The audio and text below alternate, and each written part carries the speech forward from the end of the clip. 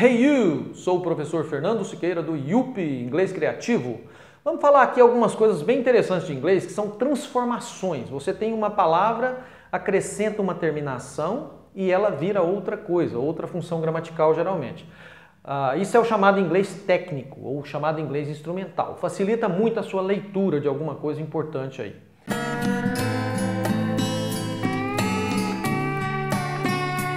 Vamos transformar aqui o adjetivo em um substantivo. Então a palavra que você tem original é um adjetivo, você acrescenta alguma coisa nela e ela vira um substantivo. Vamos ver uns exemplos. Como que eu faço para transformar um adjetivo em substantivo? Tem duas terminações que fazem isso. Terminação ness e a terminação ship.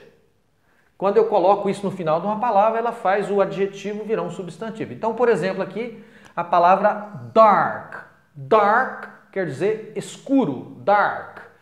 Quando eu coloco ness, ele faz virar o substantivo escuridão. Então, escuro, colocou ness, virou escuridão. Clear é claro, limpo, né? Coloquei o ness, virou claridade, clareza. Então, a terminação nes tem esse poder de fazer o adjetivo virar um substantivo. A mesma coisa acontece com o ship. Ó, a palavra leader, leader, que é o líder mesmo né, no nosso português, aí coloca o ship, leadership, liderança. Partner, que é parceiro, sócio, você coloca o ship, vira parceria sociedade. Isso acontece com inúmeras palavras. Bastante, tem, usa, usamos muito essas terminações. Então, alguns exemplos aqui.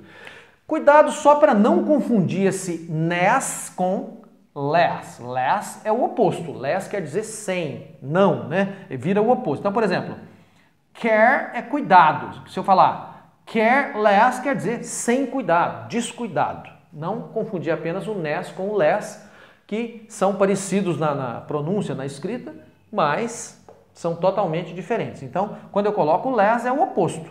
Por exemplo, se eu pegar aqui, ó, home, que é casa, lar, se eu falar homeless, quer dizer sem casa, sem teto. Né? Já ness, já faz o adjetivo virar um substantivo. É muito fácil, são coisas simples. Isso aqui não é bem uma regra gramatical, nada disso. Isso aqui é para você saber que quando tem a palavra que você conhece e acrescenta alguma coisa nela, é apenas um substantivo vinculado a ela. É bem simples, facilita muito a sua leitura e interpretação de textos aí também. É isso aí. Se você gostou, dá aí o like no seu vídeo e clique aí nas notificações, no sininho. Acesse o nosso site inglescreativo.com.br para conhecer os produtos, os cursos IUP. Estou com muita novidade, muitos cursos muito legais aí para você. Um grande abraço do professor Fernando Siqueira. Valeu!